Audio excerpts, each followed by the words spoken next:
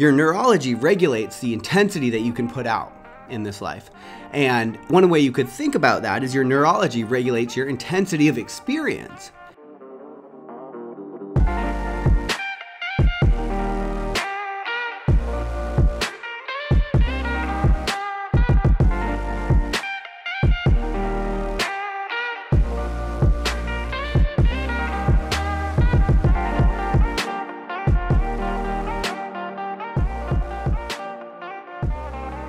Happy Wednesday. Welcome back to Morning Coffee. I'm your host, Rick Alexander. You guys can follow me at Rick Alexander underscore or at the Morning Coffee podcast on Instagram.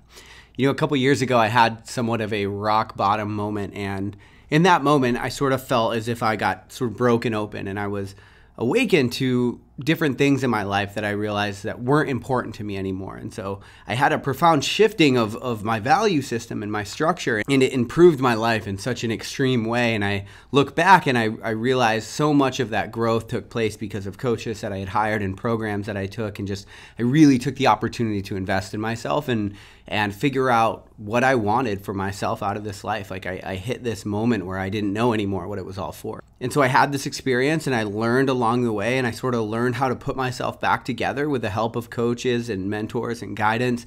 And then I started the Clarity Academy where I teach the principles that I used to sort of put my life together, figure out who I really was and what I really wanted. And the next Clarity Academy is kicking off October 16th, and the registration is live today. And so, if you're interested in taking that course, it's a 12 week intensive course. You can do it with one on one coaching or with group call coaching. Uh, but it's a real deep dive into what's going on with you. And you're going to have to ask yourself some tough questions. But if you're interested in that course, you have any questions about it, feel free to hit me up. Again, at Rick Alexander underscore, probably be the best way to do that. Today I'm going to introduce three kind of points, and then at the end I'm going to attempt to sort of tie them all together and make a main point. So the first thing that I want to say is something that became clear to me in the last decade or so is in pop culture, one of the things that humans are really fascinated by is artificial intelligence because AI is, is improving at a pretty steady rate and it's improving so much you can tell i mean that every iphone that comes out is a little bit better right? And if you listen to joe rogan that's one of the things that he's been talking a lot about in the last decade is this idea that we're all sort of racing towards singularity. And, and as i understand it what singularity is is a point where computers get so smart you know the artificial intelligence gets so smart that it's able to train and replicate itself. And at that point it will be like exponentially, it'll be exponential growth that we will no longer have control of. And that's a fascinating thing that people think could happen in our lifetime. And, and as fascinated as I am by that, I'm also intrigued by the idea that one, I don't think that any kind of artificial intelligence would exist in this world. That's just me. Like, why would it exist in time and space? I think it would create its own dimension, like its own internet type thing. Uh, it doesn't make sense to be all clunky and exist here. But uh, that aside, I also think it's interesting because we don't know the human very well, right? Like if you look out, most people don't know themselves at all, and they definitely don't know the world, right? They they have a point of view, and that point of view has them more than anything because they don't have the freedom to pivot from it, and they they things come up that are really hard to deal with for a lot of people, and they don't know they don't have the tools to deal with them, and so they repress them with alcohol and all these things. And so you have this, like where people don't really know themselves. And then in, I feel like in a lot of the brain science research right now, like we're realizing, like even at the top level of intelligence or the top level of the field, we'll say in brain science, is that we don't know the brain well even at that level, right? Like we're still finding out things about ourselves. One of the things Danielle and I were talking about the other night is how crazy it is that there's a placebo effect. That, you know, anytime a drug is going to try to come to market, when it's in trial, it has to get measured against the placebo. And the placebo is a fake pill for those that don't know, understand that. And the thing to really understand is that most pills actually fail. And so, as it turns out, most drugs that we make aren't better than our own mind at healing some things, right? Now, that's not the case with things like tumors and things like that, but there's a lot of there, there's a lot of different uh, ailments that we're realizing can be healed with our mind clearly because a lot of drugs uh, don't have as good of a success rate as the placebo does in trials. And so, and so the, the mind is at least strong enough that we absolutely have to account for it every single time we want to introduce a solution to the human condition. Okay, so that's that's something to really think about. Like how crazy is it that that's true? Okay, and so that's going to be the first point. Just sit with that. This idea that we really don't know the the limits of our own bounds, right? And and if you remember, one of the things I talk about is potential is limitless as well, because potential is like almost the gift that reality gives it gives you as you engage with it. And so as you like move out into the world, then the world gifts you with more potential. It's like right now you might not be able to run a marathon, but if you train for a 5K, the gift you get from that 5K is more potential. So you could possibly get to a marathon or an ultra or whatever, right? Right? And you don't that's why you don't actually know your potential. So you have no idea how incredible your life could be because it, it takes an active engagement with it. And on top of that, we don't know the sort of powers of the mind anyway. Okay, so that that's the point. So then the next point is if you remember, I've talked a lot about flow states, and the reason I'm even doing this show is one of the whole modules in the Clarity Academy is on how flow states occur in our lives. So if you remember, one of the things I've talked about in a flow state is it occurs when you're rooted in what you know and you're you're simultaneously exploring that which you don't know. And so I get in a flow state when I write because I understand the craft of writing and what I'm doing, and at the same time I'm exploring concepts that I don't quite have my mind around, and so it puts me in a flow state. Same thing with things like surfing or biking. You're you if you're really good at the sport then you have an understanding of it so you're rooted in what you know and you're also pushing through time and space. And so you reach this flow state and it's one of the things that we can tell is that flow state is sort of the optimal way for humans to be. And, and because you're almost pulled outside of time and space and you have a heightened capacity for making decisions and thinking uh, and you're sort of not happy or sad. And so there's also like you you're sort of outside of the human condition in a way when you're in a flow state so it's something like that's the optimal way for humans to exist.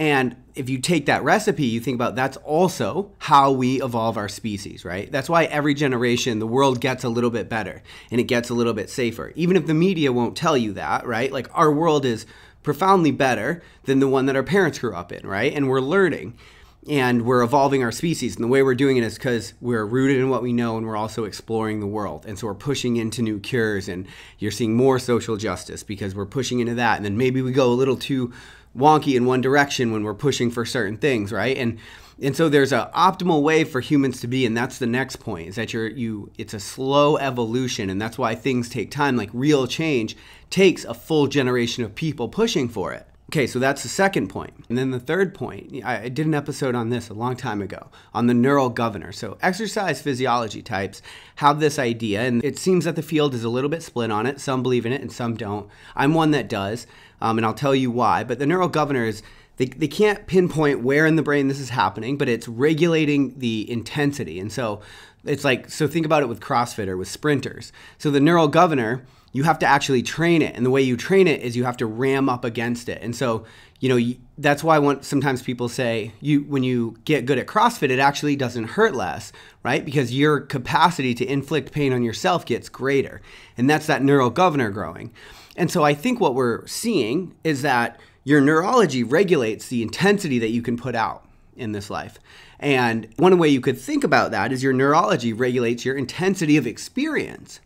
Okay, and so here's how I tie all these things together. Our lives tend to grow stagnant at times, and then sometimes they're in chaos, right? And so if you think about the flow state recipe, if you're not exploring the world, you're going to feel stagnant. And so if you're not exploring some way like in your job or your relationships and they're not evolving and they're not going somewhere, then you might feel stagnant. And so you're not in that optimal place for the human condition. But if you go too far into what you don't know, and so that you feel like you're in chaos, that happens when you get fired or when you break up from somebody or like in a relationship or something. All of a sudden now you've gone too far into the world you don't know, and so that you're in chaos. And so, what I would like to propose, the way that I've been conceptualizing my life in the last, I don't know, six months or so, maybe, yeah, about six months, is that I can use my brain to regulate my experience in a way. So I can I can learn, I can train myself to live optimally, right? To root myself in habits and routines and things that make me feel centered and and that's like the the world I know. And then at the same time, writing the book and teaching clients, I'm I'm like finding activities that feel like there's a lot of growth in them. So I'm constantly pushing into the world that I don't know. And if I start traveling too much and I get too far from my routines, I'm like, "Oh no, I'm going too far into chaos." And so in your life, whether you feel like you're in chaos or whether you feel like you're stagnant, it's like you can course correct yourself and you can use your brain to sort of set some sort of governor there where you train yourself and you you set your neurology to live optimally. And I think the way that you would do that is you can create habits and routines for yourself if you feel like you're in chaos that can start to bring you back. Like if you just moved into a new place, start creating some tradition. That's why humans have tradition because it creates psychological safety. And from there, we can explore the world. But the world has to be safe in some way. And so create that for yourself if you're in chaos. And if you're not in chaos, if you're in if you're stagnant, then you need adventure and all of the drugs and alcohol and all of the things that we use instead of adventure it actually mimics the brain chemistry what's happening when we because we were wired to to be somewhat adventurous and everybody's to varying degrees. But there's a level in everybody that's that you're still human right? And so you have the human condition to deal with. You know one of the beliefs for people in chronic pain and i know i'm going a little longer today but i'm going to wrap this up. One of the beliefs for people in chronic pain is that everybody's always in pain, except your brain has a natural opioid response. So basically, your brain has a natural response that dims your pain. So everybody's in pain from all the injuries you've had and the injuries you have now, right, to a very to a variant degree. And one of the things that people are starting to believe and starting to find out through new neurological research is that your brain's capacity, like when you see people with chronic pain but they can't figure out the reason, one of the things they're starting to think is it's actually just the circuitry in your mind. Because remember, your neurology regulates your experience to some degree. And so what they're starting to believe is that your neurology is uh, it's off in some way for people in chronic pain i mean. And so i just think it's so fascinating. We're realizing these things about ourselves like we're kind of programmable and we can get off of program pretty easily and then that it just takes a little bit of a shift right for your psychology to be off one degree or the other for things to get a little bit difficult for you but perhaps you can train yourself to live optimally and you can just look at your life and bring it back. That's one of the modules is is a whole process for doing that in the clarity academy. It's something i'm really fascinated by because i'm realizing a lot of people that have problems with their lives it's like well you could clean this up with lifestyle design. At, a minimum you could start there you know and, and that's one way to start anyway.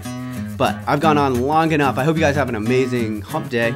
I love you. Talk to you tomorrow on morning coffee well, I'm a poor man, I feel no pain. I struggled half of my life by going against the grain, but I think I guess I only get one chance at this. I'm going to give a second. I've got, I've got to live another second, another win by. I killed another second minute. I'm wasting my life. I'm gonna spend my weekend hours doing something with myself, or playing with the cards from the deck I'm dead.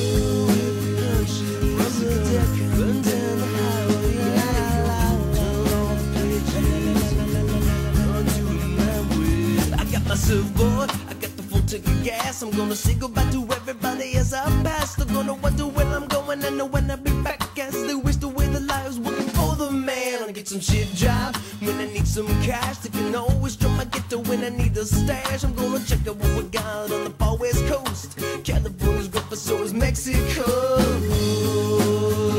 So is Mexico.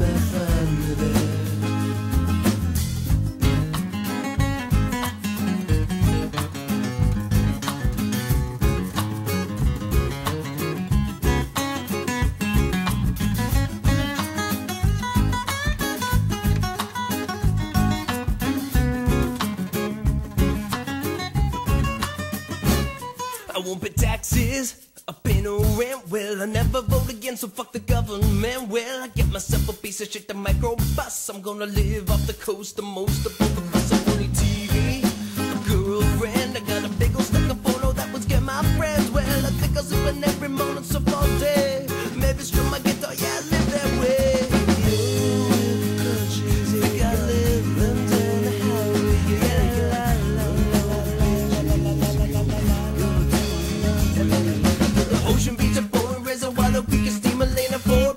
Point of Carter,